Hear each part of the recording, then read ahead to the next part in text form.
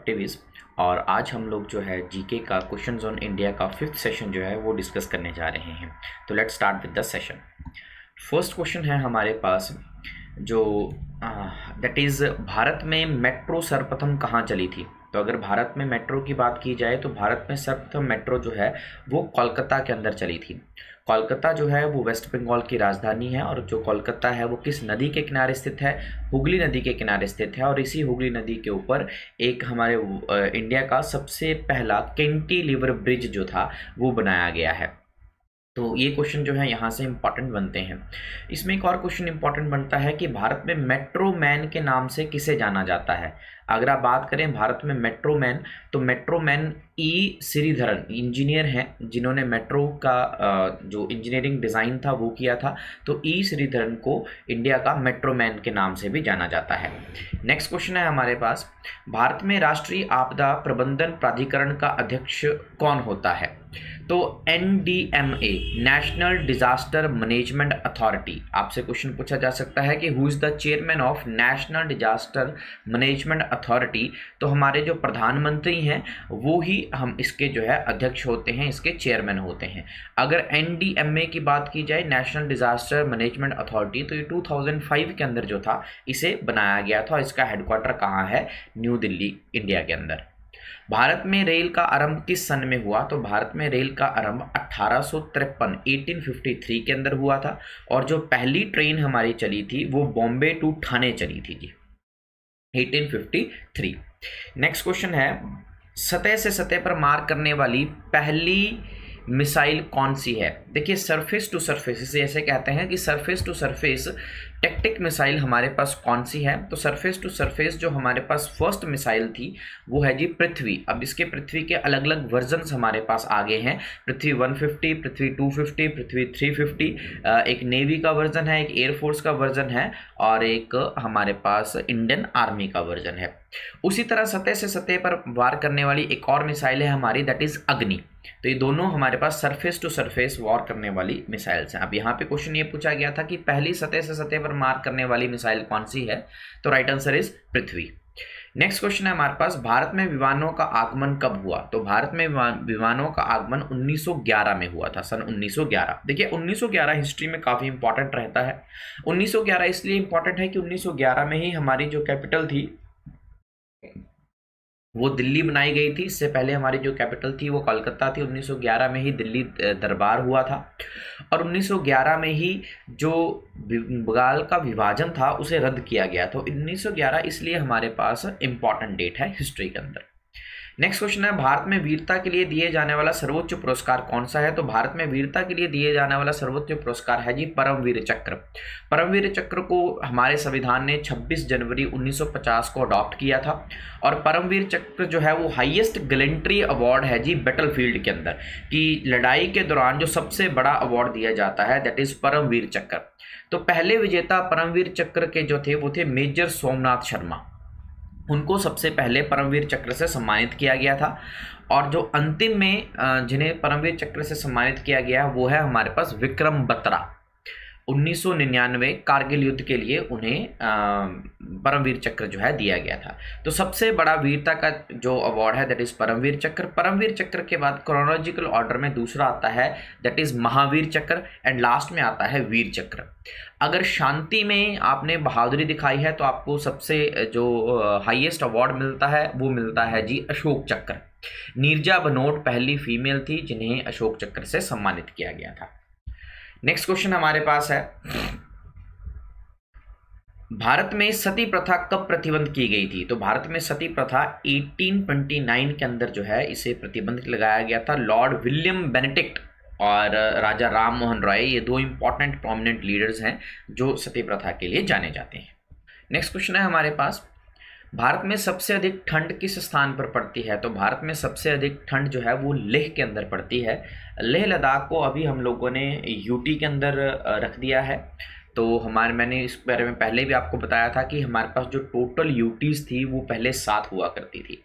साथ के बाद जे एंड के एंड ले लद्दाख को हम लोगों ने यूटी के अंदर रखा तो हमारी जो टोटल यूनियन टेरिटरीज है वो नौ होगी। लेकिन बाद में दमन एंड दीव और दादर नगर हवेली को एक यूटी बना दिया गया तो अब हमारे पास जो टोटल यूटीज़ हैं वो कितनी आ गई हैं? एट जो है टोटल यूटीज़ हो गई हैं।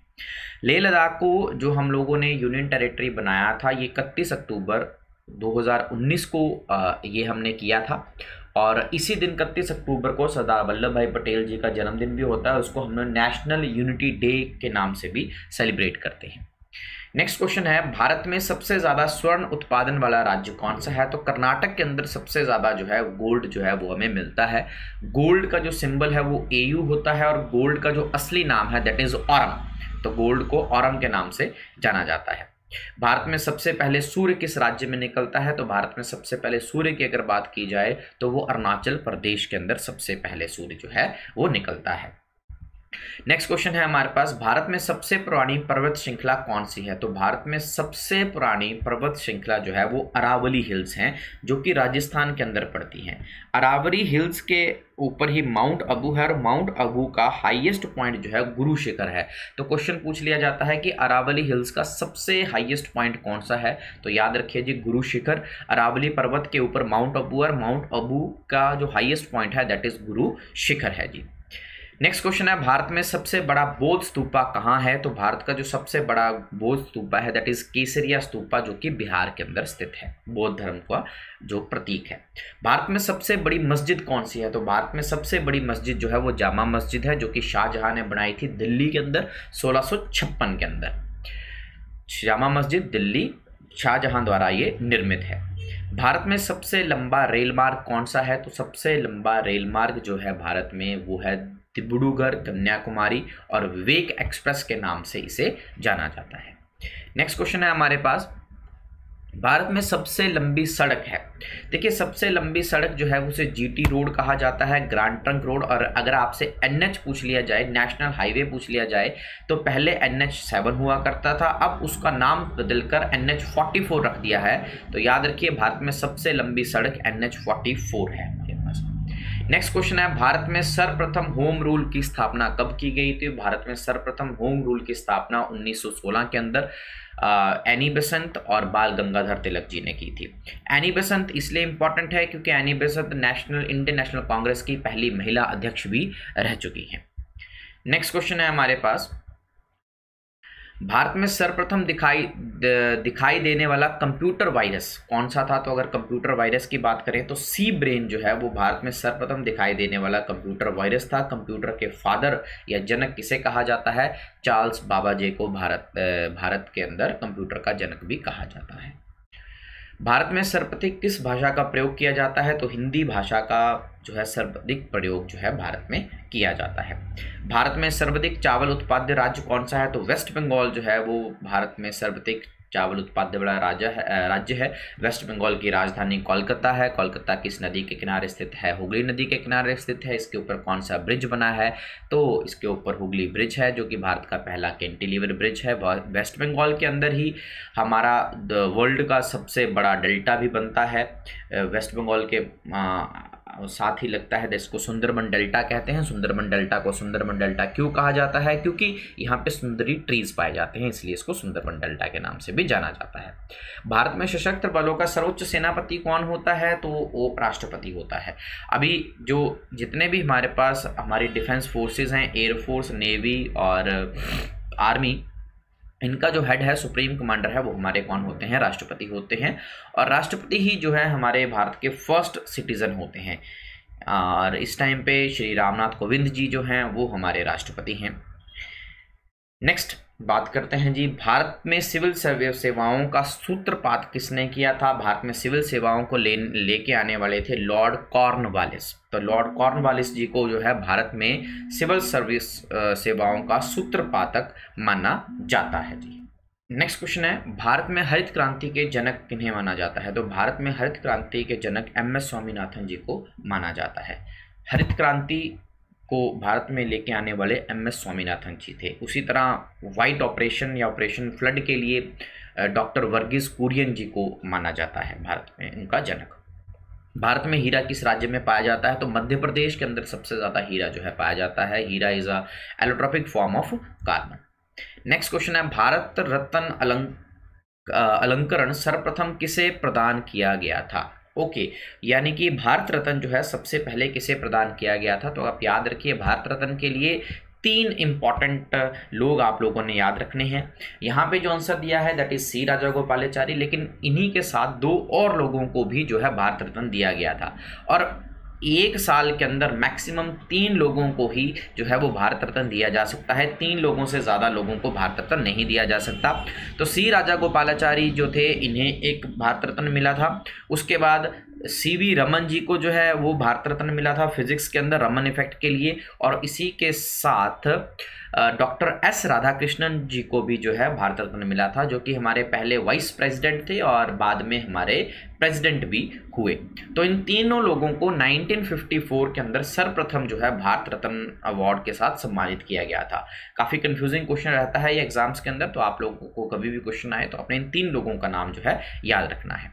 नेक्स्ट क्वेश्चन है भारत रत्न उस्ताद बिस्मिल्ला खां किस वाग यंत्र के वादन में विख्यात हैं? तो कौन सा वाद्य यंत्र वो बना, बजाते हैं? तो वो शहनाई वाद्य यंत्र जो है वो बजाते हैं। भारत रत्न से किस विदेश को, विदेशी को सर्वप्रथम सम्मानित किया गया था? तो कौन से थे? खान अब्दुल गफर खान जी को सबसे पहले भारत रत्न से सम्मानित किया गया था। भारत रत्न भारत का सर्वोच्च अवार्ड है जी, जो किसी भी फ़ील्ड में दिया जाता है। भारत रत्न से सम्मानित होने वाली पहली महिला तो भारत रत्न से सम्मानित होने वाली पहली महिला इंदिरा गांधी जी थी जी, जो कि हमारी पहली महिला प्रधानमंत्री भी रही हैं। पहली महिला जिन्होंने इलेक्शन हारा था और पहली महिला जिनकी असैसिनेशन हुई थी पॉलिटिकल मर्डर हुआ था 1984 के अंदर और इन्हों, इन्हें जो भारत रत्न दिया गया था, वो उन्नीस सौ बहत्तर के अंदर इनको जो है भारत रत्न से सम्मानित किया गया था। भारत रत्न से सम्मानित होने वाले पहले संगीतकार रविशंकर पंडित रविशंकर जी को जो है भारत रत्न से सम्मानित होने वाले वो पहले संगीतकार थे। नेक्स्ट क्वेश्चन है, भारत व पाक के बीच विभाजन किस योजना के तहत हुआ था? तो उस योजना का नाम था लॉर्ड माउंट बेटन योजना। तो लॉर्ड माउंट बेटन योजना के तहत भारत और पाकिस्तान का विभाजन हुआ था। भारत और पाकिस्तान के बीच जो विभाजन रेखा है, उसे रेड क्लिफ कहा जाता है जी। लॉर्ड माउंटबेटन ने भारत विभाजन की घोषणा कब की गई थी? तो उन्होंने 3 जून उन्नीस को जो है, वो इसकी घोषणा कर दी थी। भारत विश्व कप क्रिकेट का चैंपियन प्रथम बार किस वर्ष बना था? तो 1983 के अंदर भारत जो था, प्रथम बार विश्व क्रिकेट कप का चैंपियन बना था। नेक्स्ट क्वेश्चन है हमारे पास। भारत सरकार अधिनियम 1919 का आधार क्या था? देखिए, अगर 1919 की बात की जाए तो उस टाइम पे मोन्टेक्यू टेम्सफोर्ड रिफॉर्म आया था। इसका आधार इंडियन काउंसिल एक्ट अट्ठारह था। नेक्स्ट क्वेश्चन है, भारत सरकार ने आपदा प्रबंधन अधिनियम को कब अधिनियमित किया? तो 2005 के अंदर जो है इन्होंने इसे अधिनियमित किया था। नेक्स्ट क्वेश्चन है, भारत सर्वाधिक शिक्षित राज्य कौन सा है? तो भारत का सर्वाधिक शिक्षित राज्य केरल है हमारे पास। नेक्स्ट क्वेश्चन है जी, भारत राष्ट्रीय कांग्रेस की स्थापना कब हुई? तो भारतीय राष्ट्रीय कांग्रेस की स्थापना अट्ठारह में हुई थी और ए ओ ह्यूम ने इसकी स्थापना की थी। इसका जो पहला अधिवेशन था, वो बॉम्बे के अंदर हुआ था। गुरु तेजपाल संस्कृत कॉलेज था, लेकिन ये अधिवेशन पहले पुणे में होना था, लेकिन पुणे में कॉलरा फैलने की वजह से इसे हमने स्थानांतरित कर दिया था बॉम्बे में। तो this is all about this session hope आप लोगों को सेशन अच्छा लगा होगा। अगर सेशन अच्छा लगा है तो इसे लाइक और शेयर ज़रूर करें। Thanks to be the part of activities जय हिंद जय भारत